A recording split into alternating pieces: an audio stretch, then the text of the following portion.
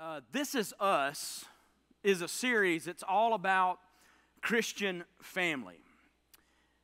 You don't have to look very far into the scripture, and you will discover two things about the Christian family. One, it's intended to look and function differently than anything you see out there that's called a family in the world, including those among other world religions. The Christian family is just different. Secondly, when we talk about the Christian church family, that designation goes beyond what we might traditionally call the nuclear family or the biological family.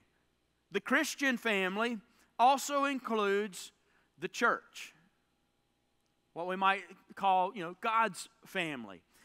And within the church family, there are a variety of family makeups, if you will.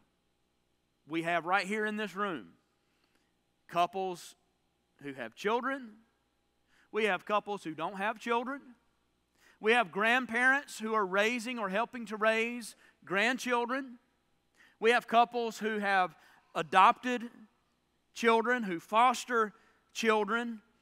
And in our church, it just seems like throughout uh, the span of a year, we typically have at least half a dozen or so couples who are engaged to be married. So we'll just sort of put them in the category of, um, you know, to be families. And as I think about it, I mean, that pretty much. That pretty much encapsulates the whole family, right? I didn't leave anybody out, did I? And some of you are saying, Yeah, you left me out. I didn't mention singles, did I? And now that was intentional for the purposes of the message.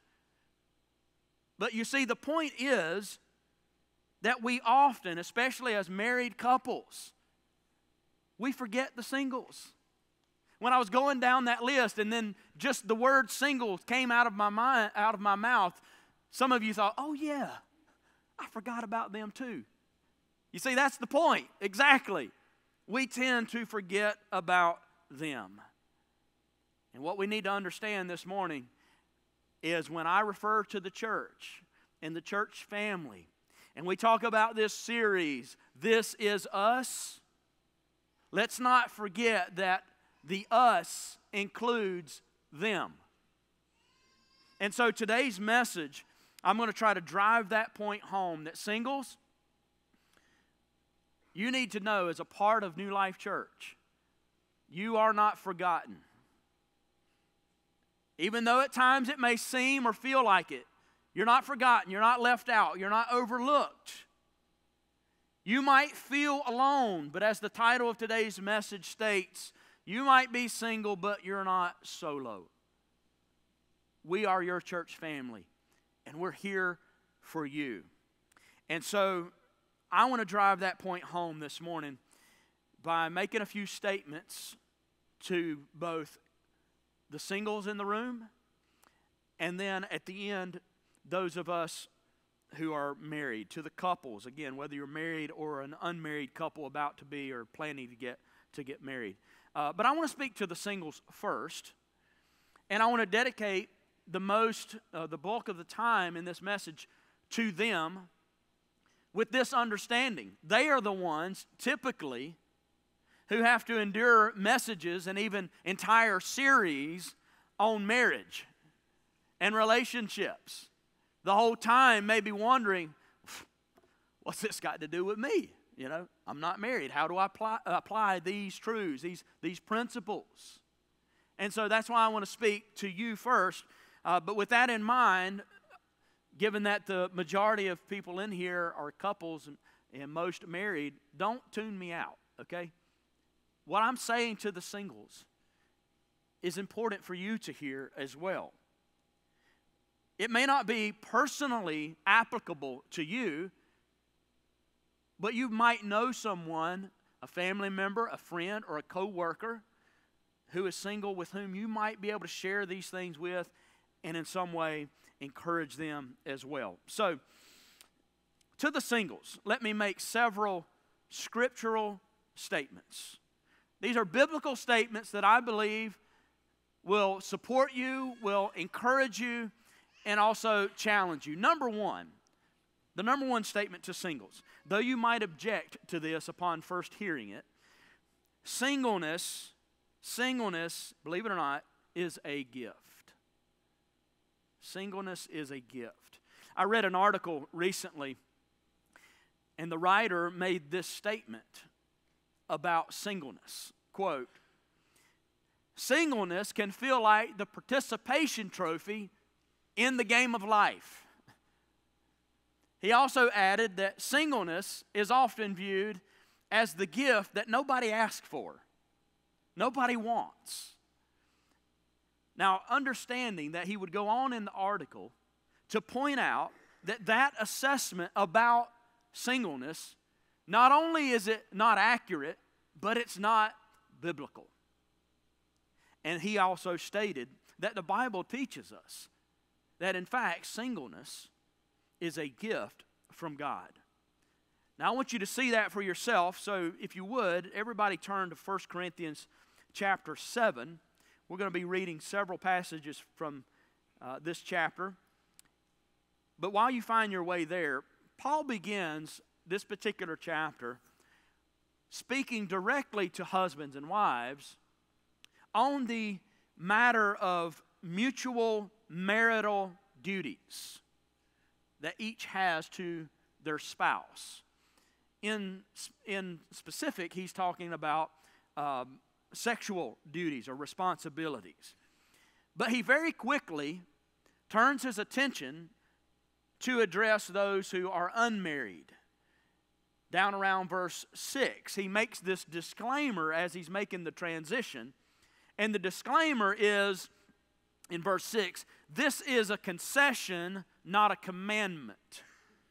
So, what Paul is saying is, what I'm about to say to you is my opinion based upon my personal experience. It is not a directive from the Lord as to the way things have to be. Okay? And so here is the concession in, in chapter 7, verse 7. Paul says, I wish that all of you were as I am.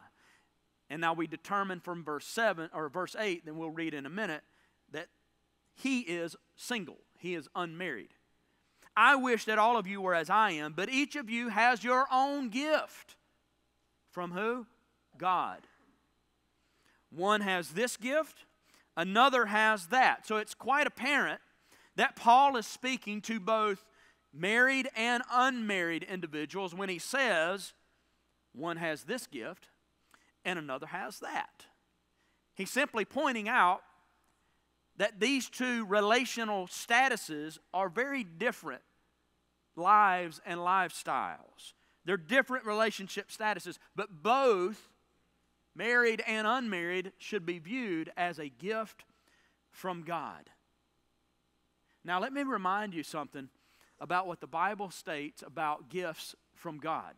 James chapter 1, verse 16 and 17, James writes this Don't be deceived, my dear brothers and sisters. Every good and perfect gift is from above, coming down from the Father of the heavenly lights. In other words, the one who created the sun, moon, and stars, the universe, God Himself, who does not change like shifting shadows. Let me summarize what James just said there. If it's a gift from God, it's a good one. It's a good gift. And Paul has stated that, that singleness, just like marriage, is a gift from God. And I want you to hear that very clearly this morning. If you are here single today, whether you've ever been married before or not, you find yourself single again, it doesn't really matter the reasoning. Don't deceive yourself, James said. Don't deceive yourself. Don't believe the lie that your singleness, and I'm going to explain this a little later on, your single, whether it's temporary or not, don't believe that your singleness is anything but a gift from God. You might think, well, yeah, but last week when you talked about marriage, you pointed out in Genesis chapter 2, you know, verse 18, God saw that man was alone, and he said, That's not good. It's not good for man to be alone, so I will make a helper suitable for him. Well, let's make one distinction alone and single are not the same thing. You can be single and not be alone.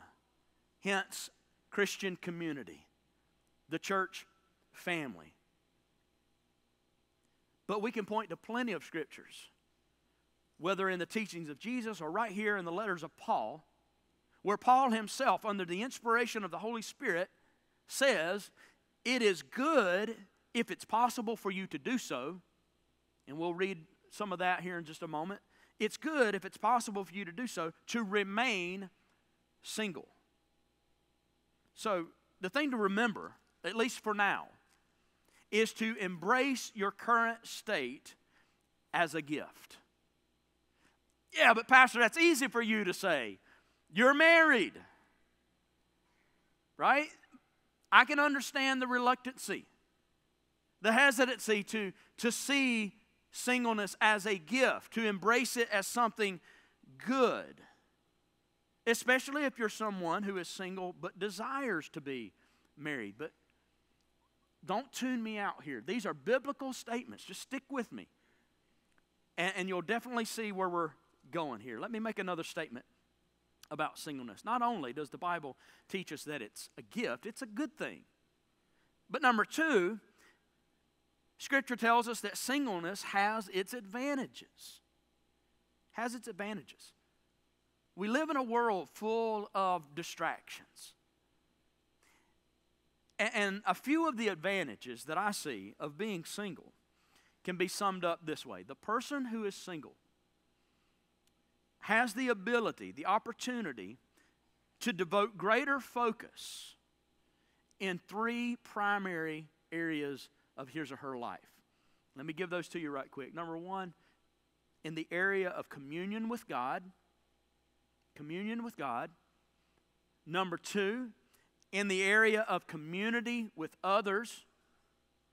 And number three, in the area of a commitment to ministry, to serving God and serving the church. Now, let me show you that in Scripture.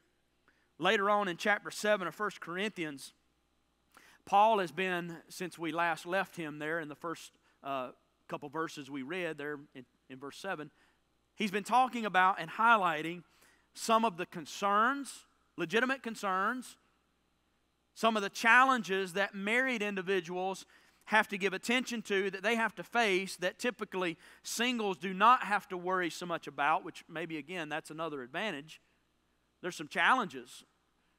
There's some difficulty that comes along with being married that, that singles don't necessarily have to, uh, to face. But anyway, verse 32, picking up here, he says, I would like you to be free from concern. This is his case for remaining single. An unmarried man is concerned about the Lord's affairs, how he can please the Lord. But a married man is concerned about the affairs of the world, how he can please his wife. His interests are divided. An unmarried woman or a virgin is uh, concerned about the Lord's affairs.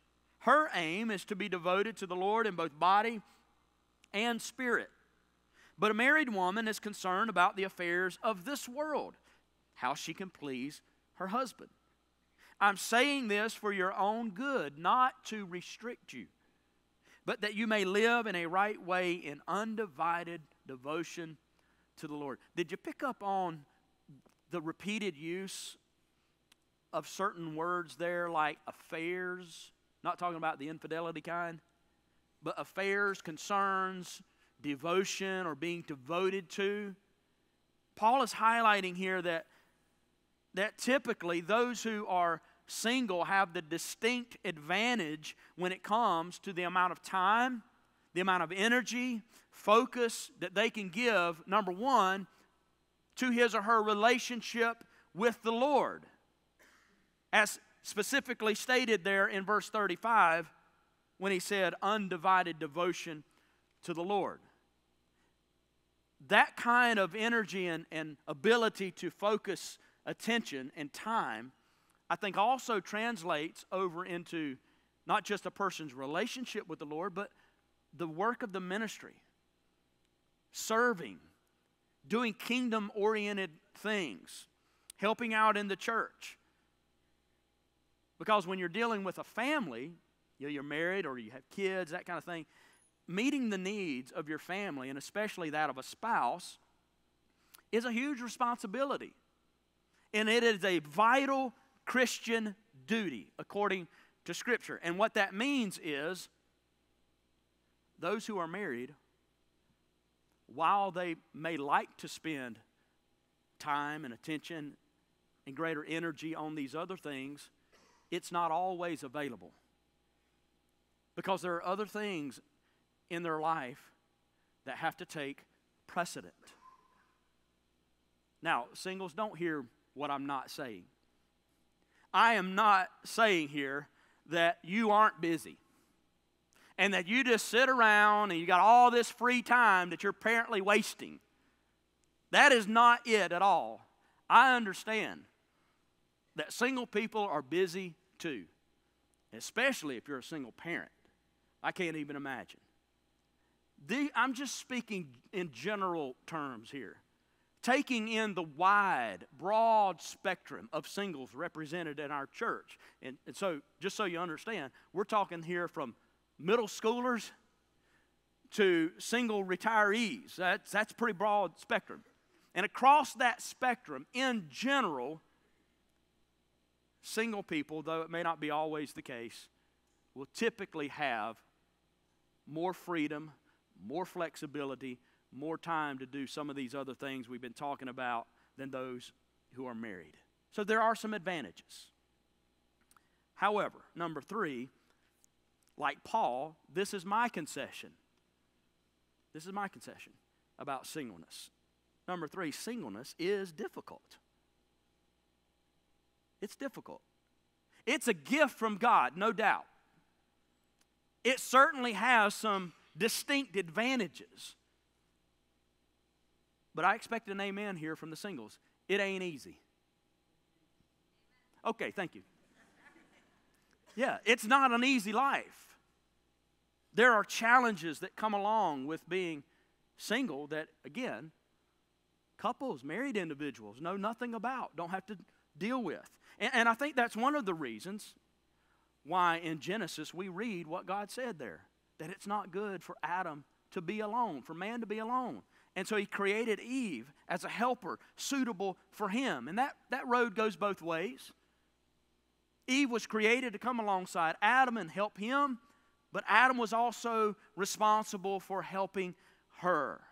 Like we talked about last week, it's as if they, they completed or complemented one another. They compensated for each other's weaknesses and so on and so forth. And there were certain needs that are sort of baked in that, that marriage is like the primary context in which God meets those needs. That deep longing for companionship, certainly the need or the desire for sexual intimacy is met there in the context of the marriage relationship. And though the New Testament speaks of singleness as a very positive thing, it's obvious that, that some of these needs, that again are sort of baked into our existence, create some level of difficulty for someone who's single. So, what does that mean? Well, that means for you, you are likely at times going to struggle. Let's just use those two examples I gave. There are times when you're likely to struggle more so than a married couple with uh, feelings of loneliness and perhaps temptation towards sexual sin. And so your, your boundaries, your guardrails are going to have to be up a little, a little higher, and, and you're going to have to take a greater, put forth a greater effort to guard against these things. And there might be some adult singles right now here saying, Pastor, are you telling me that as an adult single,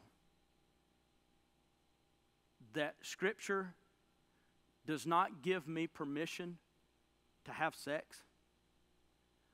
Let me see if I can make this uh, concise and clear. Yes. it is exactly what I'm saying. And it's not my opinion, it is God's word, okay? And it's but it's true for all of us. When Paul writes in 1 Corinthians chapter 6 verse 18, flee sexual immorality. He didn't just say singles. He didn't simply say teenagers or married couples flee. No, all of us have a responsibility to guard sexual purity. It's interesting there that the word immorality that Paul used is the Greek word porneia. That's where we get the word porn, pornography. And so I would say this married or unmarried, the Bible teaches us that we should avoid sexual sin at all costs. But there are no exceptions. Since I'm speaking to singles, there are no exceptions for singles that would allow for casual sex, self pleasure, or virtual fulfillment.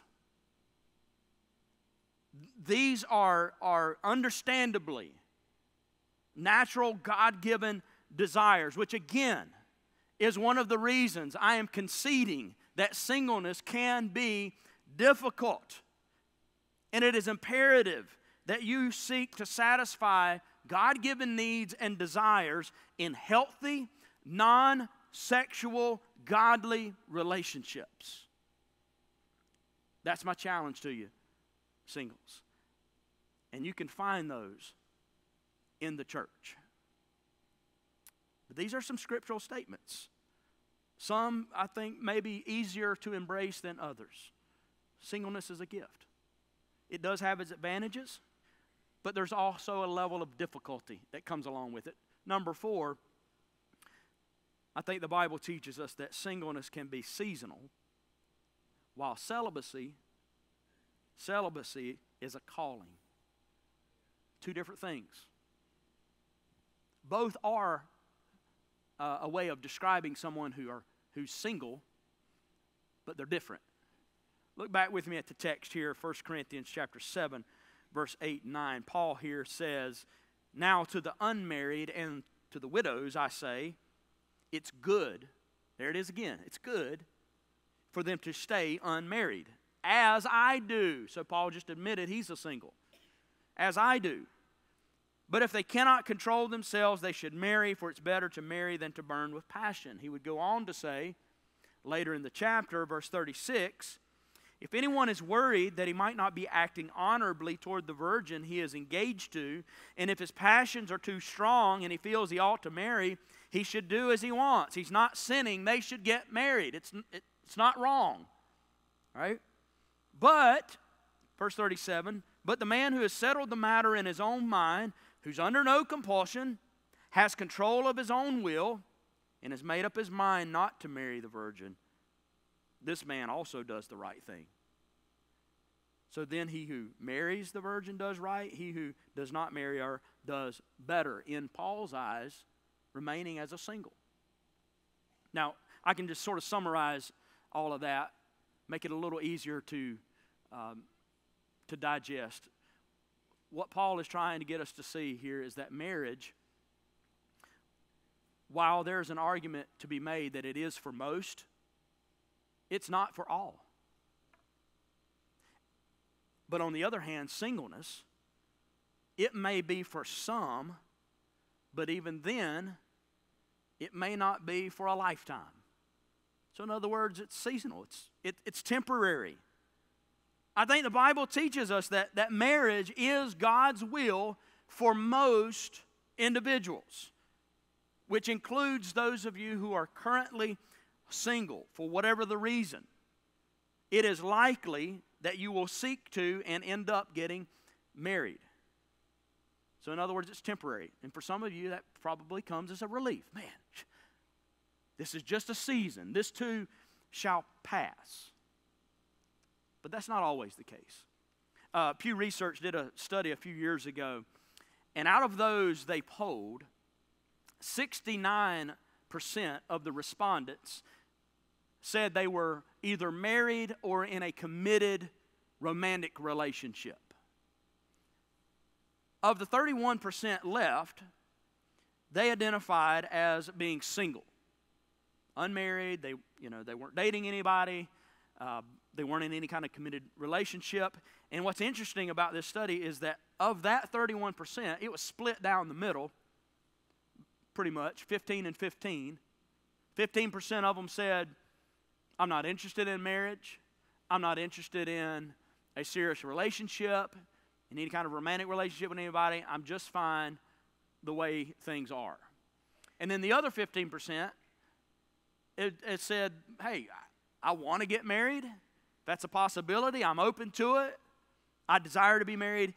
But when you combine all of that data, what you come up with is 69% who are, are committed or are married, and 15% of those who are single but yet desire to be married. You have 84%. So the vast majority of people who either are or would like to be or one day will be married, which again teaches us that for most, for most, marriage is God's will. But for some, it will be singleness. At least, at least temporarily. However, then you have that whole other category of those who will choose to remain single for a lifetime. Right? And when I, when I refer to somebody who's single for a lifetime, or, or you hear the word celibacy, let's not limit that. I know if you look that term up in the definition, it has a, a sort of like a sexual orientation to it. I'm not talking, in celibacy, I'm not limiting it to just, you know, a life of sexlessness. No, a committed life of singleness for a lifetime which what we're going to see here in Scripture is usually the result of a personal and clear calling from God. Let me show that to you. In his discussion here in chapter 7, as we've already seen, Paul makes several appeals to those who are unmarried to, if possible, stay that way. In the middle of all this, he to me, it seems like he goes down this rabbit trail and he starts talking about uh, those who are uh, circumcised and uncircumcised, those who were slaved and freed, and so on and so forth. It's back and forth. But there's this theme that is consistent. The theme is his repeated use of the word called. There is a state in which someone is called. And he says, in whatever state you are called, I would urge you to remain in that state. And this is where he gets back to his argument for singleness. Verse 17 Nevertheless, each person should live as a believer in whatever situation the Lord, get this, has assigned to them, just as God has called them. And he says, I lay down this rule in all of the churches. He's consistent in this teaching. If we pair what Paul is saying here with what Jesus said in Matthew chapter 19, it becomes clear to us that a lifetime of singleness, while it may not be and likely will not be for all, it will be for some. And for those, it will be a calling. It will be an assignment from the Lord. In Matthew chapter 19, Jesus is in a discussion about uh, divorce, about adultery. And his disciples, after a few comments about those things, his disciples come to the conclusion and state, Well, in that case, Lord, it would be better if someone just never married, if they stayed single for a lifetime. To which he replied in verse 11, not everyone can accept this word. In other words, what you're saying is right, but not everybody's up for the task. Not everyone can accept this word, but only to those to whom it's been given. You see that sense of calling, a singling out and assigning. He says in verse 12, There are eunuchs, and I know some of you are thinking, What's that? what's that word? Uh, let's just generally define it and understand it as someone who is single due to a variety of possible reasons. But in essence, a single. There are those who are born that way. In other words, it, it, it, was, it was meant to be from, from the time of the beginning of their life. There are those who have been made that way by others. And there are those who choose to live like eunuchs for the sake of the kingdom. And he adds, the one who can accept this should accept it. Again, Jesus is confirming what we've already discussed is that while singleness in general should be viewed as a gift from God, celibacy, a lifetime of that, is a calling. And it tends to be somewhat of a rare and exceptional gift. And only a few, he says, can accept that. But of the few who can, they should. You might think, well, why? Well, for some of the reasons we've already talked about, some of those advantages, some of the opportunities that it affords to immerse oneself into the kingdom of God and devotion to the Lord. But I would also say, give you this word of caution. If you're single and you're not sure if your singleness is seasonal or if it should be permanent, listen, if you're not absolutely convinced that it's a call from the Lord to be permanent, don't try it. because you're only going to make life more difficult and frustrating for yourself. Continue to seek the Lord's will and follow Him wherever He leads. Now, for the couples, I understand I've, speak, I've spoken to the singles for the most of the time here this morning, and that was certainly intentional. And so, couples, I said at the beginning, like, don't get lost in this and tune me out. So I hope you haven't done that. But if you have, wake up. It's your turn, okay? Let me give a few words of caution to all of the married couples in the room. All of those couples in the room who you're looking toward getting married. Maybe you're in a serious dating relationship or you're engaged and, and things seem to be heading that way. Here are some words of caution to the couples. Number one, don't idolize marriage. Don't idolize marriage. Listen, I love being married. I love marriage in general. I, I would I could not really imagine life without my wife. After 20 years now, I, I don't want to imagine doing life without her with me. But here's the thing while I believe that marriage was instituted in the beginning and blessed by God, and while I, I believe and can point you to Scripture, Hebrews chapter 12, verse 4, or chapter 13, verse 4, marriage, it says, should be honored by all. All. Honored by all. It should never be idolized. Because while marriage is good, it's not God. It's not God. it, it is not life's highest calling. Marriage is not life's greatest goal. It is not life's ultimate achievement. You want to know what life's highest and greatest goal is?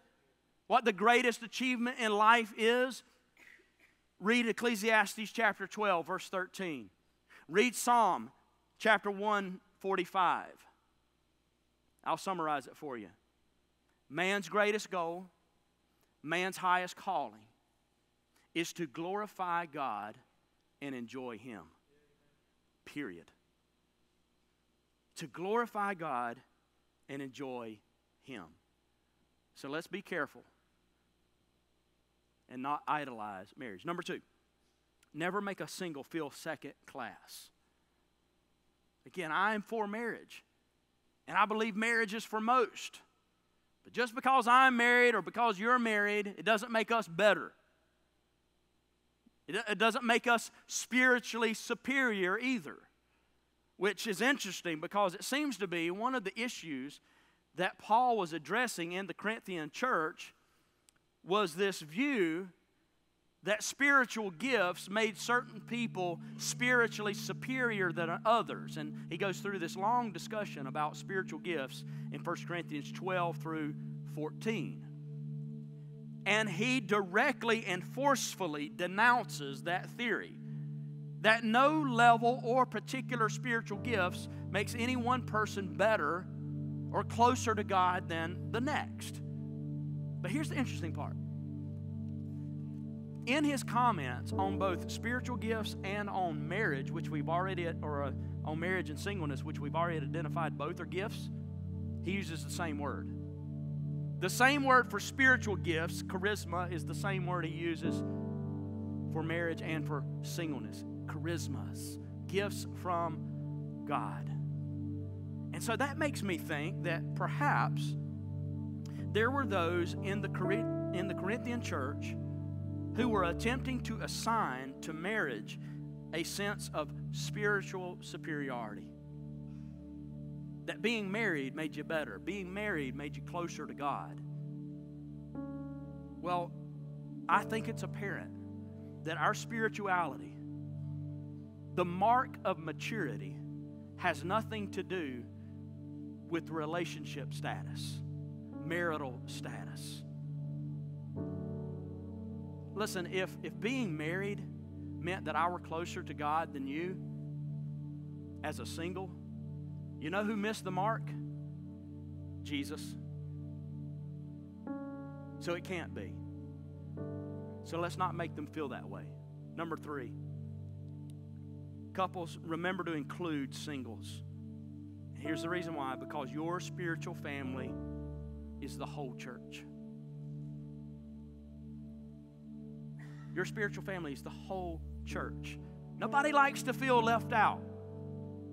Nobody wants to be the one sort of sitting on the sidelines watching everybody else, being made to feel inferior or less important or unneeded.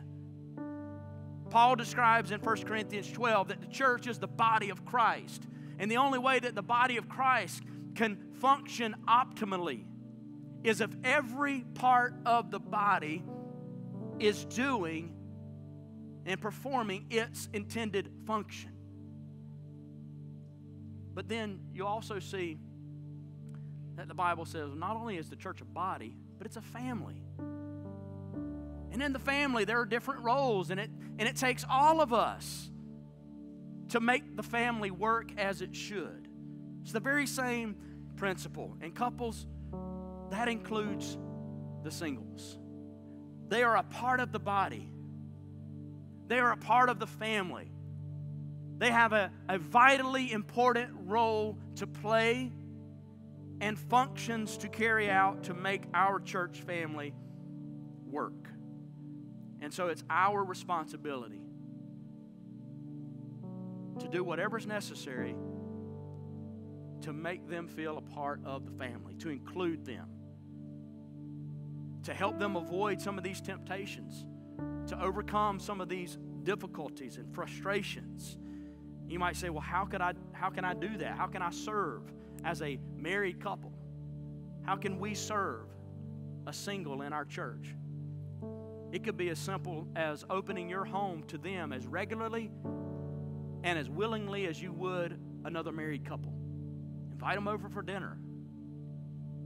You know, just include them as, as a part of your, your group, if you will.